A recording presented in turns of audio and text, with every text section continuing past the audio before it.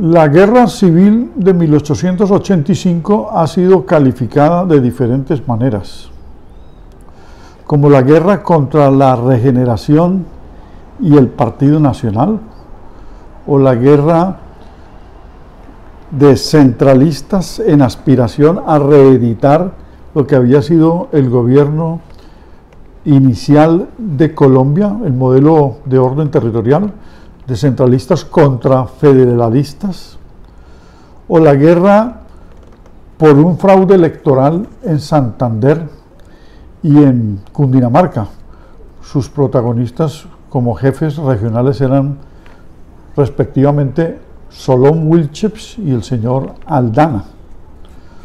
O una guerra contra los disidentes del liberalismo radical que se habían deslizado hacia un disque liberalismo independiente para formar un primer frente nacional en la historia de Colombia que fue el Partido Nacional.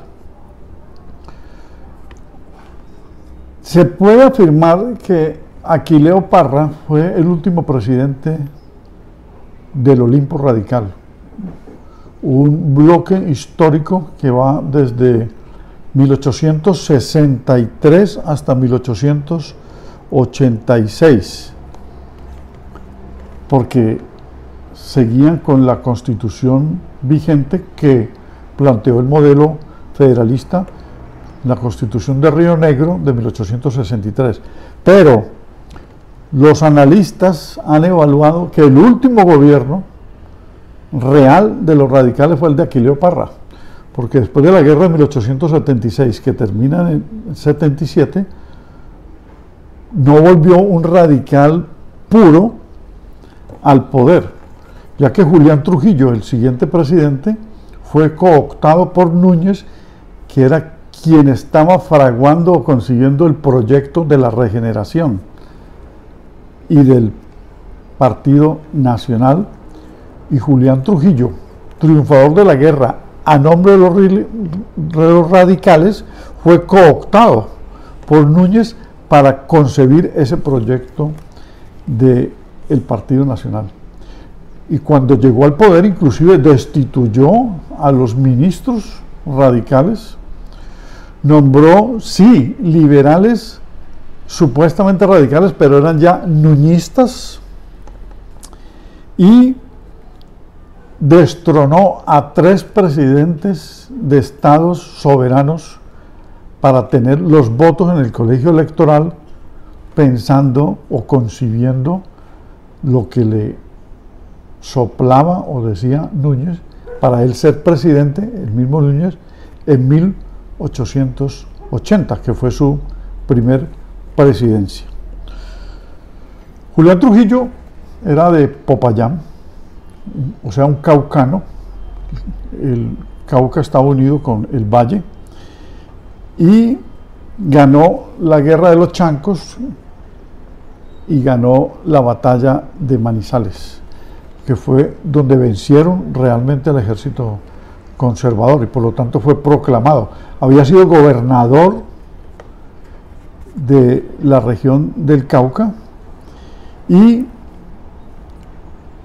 se deslizó del partido.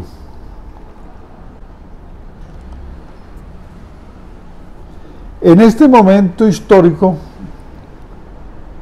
va a aparecer Jorge Isaac. Jorge Isaac, un vallecaucano, autor de la novela María, había sido secretario de Educación del Gran Cauca, o sea, del Valle y del Cauca.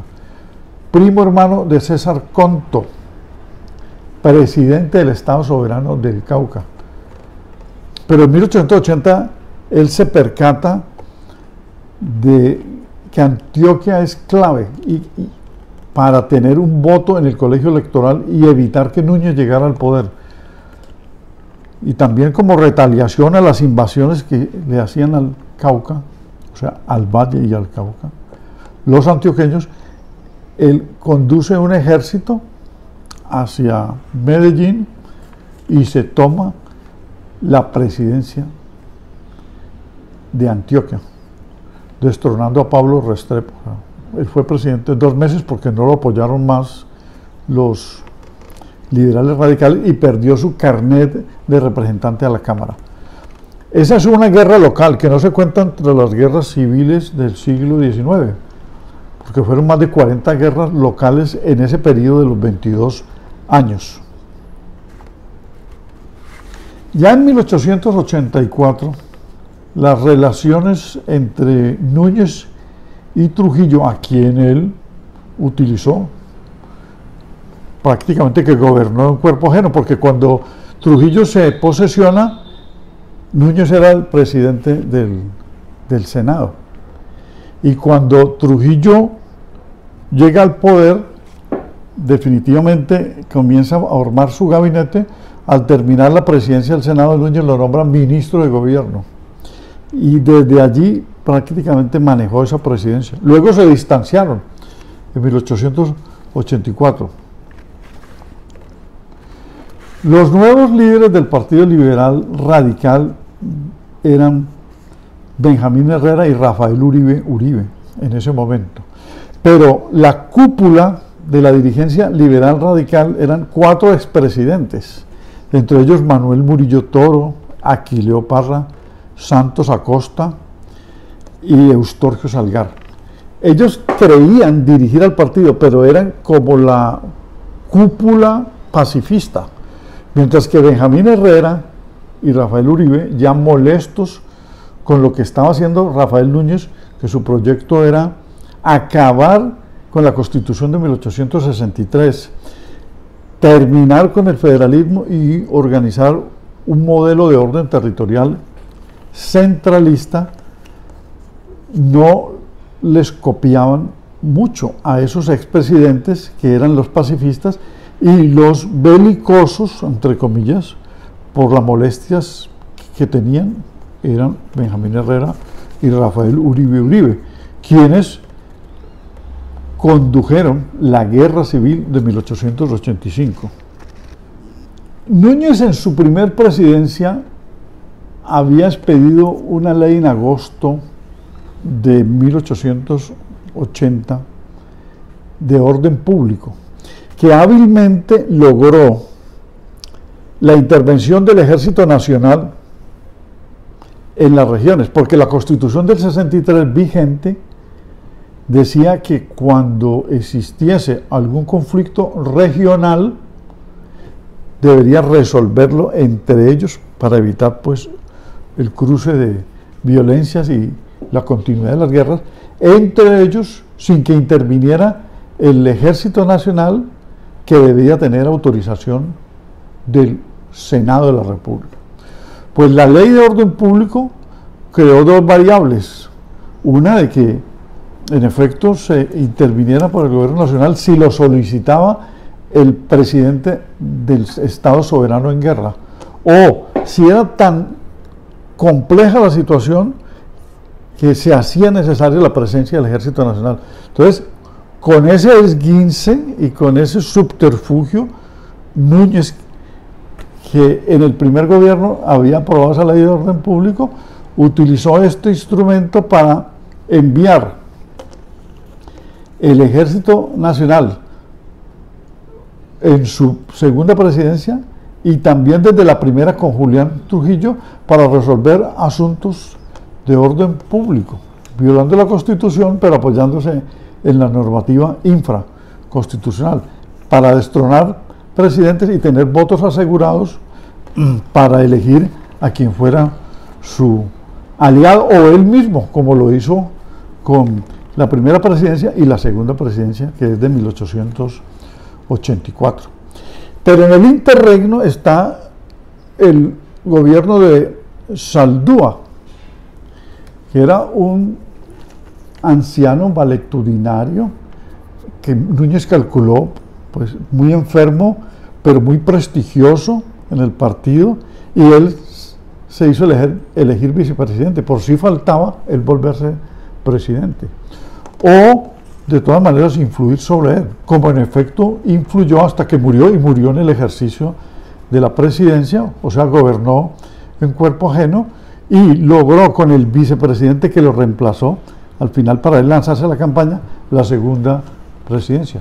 Inclusive estuvo Ezequiel Hurtado también unos días de presidente encargado y el señor Clímaco Calderón, que estuvo menos de 48 horas de presidente. Es decir, manipuló la sucesión y logró llegar a la segunda presidencia. Esto despertó la ira de los radicales, porque vieron que era inevitable que volvía a ser presidente y que, se, y que sus embestidas eran contra la constitución de 1863 y por lo tanto comenzaron a moverse para enfrentar este asunto.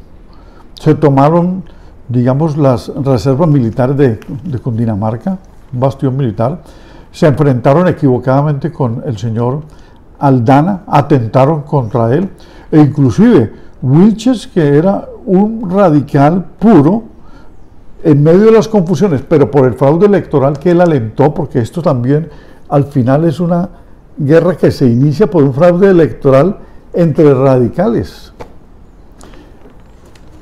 Con él entra en un, en un, desencuentro que impide una alianza total para enfrentar a Núñez. El hecho es que se inicia la guerra civil de 1885 a finales de 1884. En diciembre ya las tensiones son máximas y se va a destapar toda esta problemática.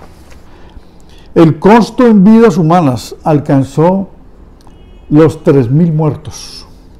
Núñez, victorioso, proclamó que la constitución de 1863 había muerto también y procedió a convocar el Congreso de Delegatarios que redactó la constitución de 1886, de corte autoritario centralista. Al desaparecer los estados soberanos y el federalismo, los omnímodos caudillos militares de otros tiempos perdieron su sustento material y se eclipsaron para siempre. A Núñez le correspondió defenestrar personalmente a varios de los que habían sido sus aliados, entre ellos a Eliseo Payán, un caleño. El monopolio de las armas y el control del orden público por parte del gobierno central devolvieron estabilidad al país. Al celebrarse con Roma un concordato que restituyó a la Iglesia Católica todas sus prerrogativas, cesó por completo la tensión religiosa. Esto comenta Gonzalo España en el libro El país que se hizo a tiros. Entonces, ahí vemos cómo la religión juega un papel importante en el sentido de que los conservadores que ya habían visualizado en, el, en la confrontación con los liberales que la iglesia tenía los mismos patrones, principios, dogmas y concepción que ellos tenían sobre la administración, confundían lo teocrático con lo civil, con lo laico, mientras que los liberales eran laicistas, pretendían gobiernos civiles sin acabar con la iglesia, distanciando a la iglesia. Núñez le devolvió en la reforma constitucional de 1886 y en el concordato del 87 todas las prerrogativas a la iglesia y se identificó definitivamente con el partido conservador que fue su aliado para llegar a las dos presidencias iniciales, luego será presidente otras dos veces, es decir, en total cuatro.